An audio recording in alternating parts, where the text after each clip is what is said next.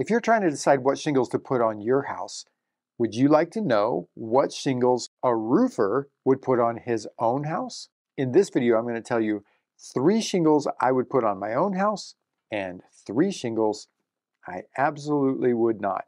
But to find out what shingle I actually did put on my house, you're going to have to stick around until the end of the video. Let's get started. I would put on my house the CertainTeed Landmark. Now the Landmark is kind of like CertainTeed's kind of entry-level shingle. I hate to use the word entry level because that almost makes it sound like it's a builder grade shingle and it's really not. It's really a step up above what most manufacturers entry level slash builder grade shingles are. But this is just a standard asphalt shingle. And when I say a standard asphalt shingle, I mean as opposed to something like an SBS modified product.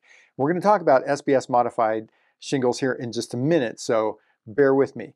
But the Landmark is not an SBS modified, it's not an impact resistant shingle, it's just the standard shingle. But the Landmark is actually a fairly heavy shingle, and so that means it has more asphalt in it. And in my experience, that means that it's going to actually hold up to hail damage better than some of its competitors that aren't as thick. The other thing I like about the Landmark, and really all CertainTeed products, is how well the shingles seal together. Now, one of the things that you're going to find if you're doing your research on YouTube about what's the best shingle out there, you're going to see videos where they're doing what's called a pull test.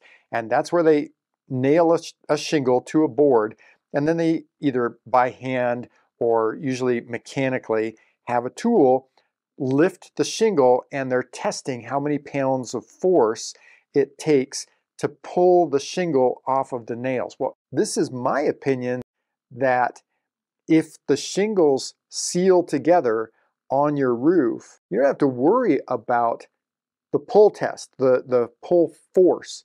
You know, how many pounds of force does it take to pull the, the shingle off of the nail? Because if the shingles seal, the wind isn't going to get underneath them and actually start to take it off. And so like I said, that's why I like the CertainTeed product line is because their shingles seal so well. We rarely ever see a roof with shingles blown off and those are CertainTeed Landmark shingles. I would not put on my house the Owens Corning Oakridge shingle. Now in my opinion, this is more of what I would call a builder grade shingle. So this is a shingle that's very popular with home builders here in my city. And when I use the term, it's kind of a builder grade product, hopefully you understand what I mean by that. That's not the kind of quality product that I would actually want on my house. So aside from the fact that I consider this to be a builder grade product, one of the reasons that I wouldn't really put this on my house is because through the last 12 years of experience, I haven't seen that this product really holds up very well to hail damage. Also, honestly, in my experience, like I say, over doing this for 12 years, when we get called out to a house because shingles have blown off, most of the time it's the Owens Corning Oakridge shingle. So this is not a product that I would put on my house. I would put on my house the Malarkey Legacy. Now, I know Malarkey is kind of a funny name for a product, but Malarkey was kind of a leader in innovating shingle technology decades ago. And so the Malarkey Legacy is what's called an SBS modified asphalt shingle. And basically what that means for you as the homeowner is that it's a rubberized asphalt shingle. So, so the SBS product actually has rubber as part of the makeup of the shingle subsurface. And Malarkey was pretty much the pioneer when it comes to this kind of technology for shingles. And like I say, they've been making them for decades, so they've really perfected the technology. We've installed some Malarkey Legacy product and we've actually had some pretty good experience with it. And Malarkey actually has a great reputation with roofing contractors and material suppliers. Now, I have to admit, I'm very partial to the CertainTeed line of products but if CertainTeed wasn't available to me, the Malarkey is what I would put on my own house. I would not put on my house the Owens Corning Duration Storm. So the duration storm is considered to be a class 4 impact resistant shingle, but it's not an SBS modified shingle like the Malarkey Legacy. It's just a standard asphalt shingle, but they they kind of embed a mesh scrim into the shingle. That scrim is there to protect the mat of the shingle from getting cracked when it gets hit with hail. Whereas an SBS modified shingle, the rubberized shingle, actually causes the hail to bounce off of it without doing damage. An impact resistant shingle that's not SBS modified doesn't really have that capability of causing the hail to bounce without damaging the surface of the shingle. So it, it protects the mat of the shingle from getting cracked and damaged, but it doesn't really protect the surface of the shingle. So hail can hit it, still dislodge the granules, which then exposes the asphalt underneath. So in my experience of working with hundreds of hail damaged roofs, I've only seen this product perform well in a few instances. Therefore, this is not a product that I would put on my roof. I would put on my house the CertainTeed Northgate product. Now we've got a lot of experience installing this product dating all the way back to 2015, right when it first came out. And like the Malarkey Legacy, this is also an SBS modified asphalt shingle. So like I said, that means that it's basically rubberized.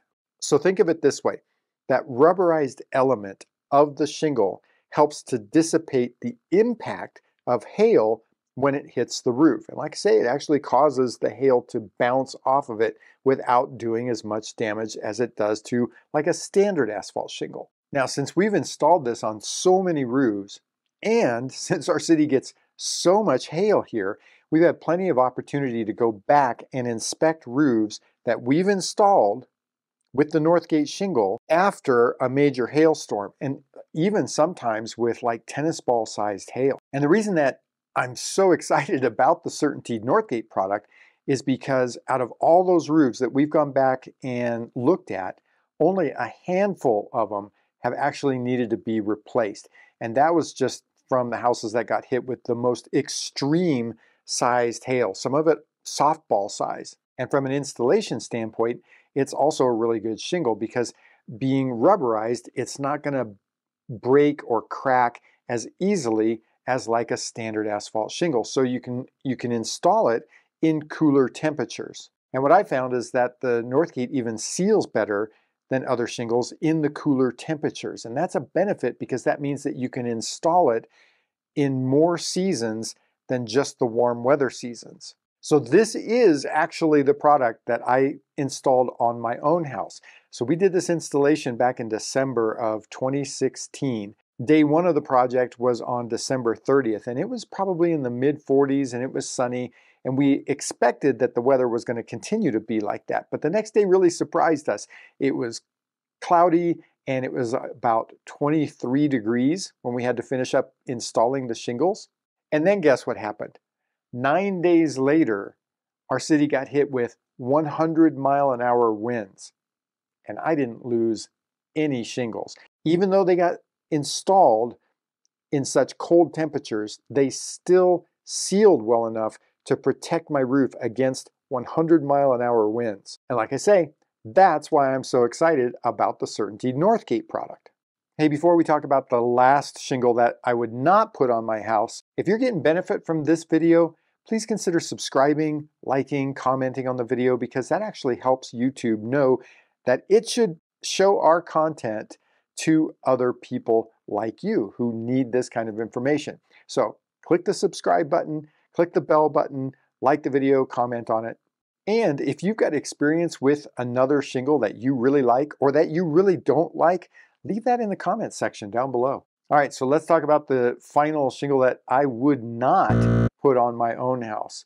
And I have to say, it's the Tamko Heritage. So in my 12 years in the roofing industry, this is the shingle that, in my experience, working with shingles, this is the one that we've seen the most problems with. And what we've seen throughout the years is the major problem has simply been delamination. And for you as a homeowner, what that means is that's when the granules on the top of the shingle come off. And then you're left with a shingle that is just kind of exposed to the elements. The asphalt part of the shingle is exposed to the elements because those granules are there to protect the asphalt, especially from the sun. So once those granules are gone, that asphalt can start drying out, cracking, breaking, curling, or what's called cupping. And we've actually had experiences where we've had to replace roofs on houses that are only like two or three years old and they had these shingles. And I have to say that in all the experiences that we've had with this problem, we've never had a positive experience working with a warranty claim on these shingles. Therefore, this is definitely not a product I would put on my house. So now that you know what my opinion is about which shingles I would and which shingles I would not put on my own house, if you want to know how to choose the right shingle color for your house, click this video right up here.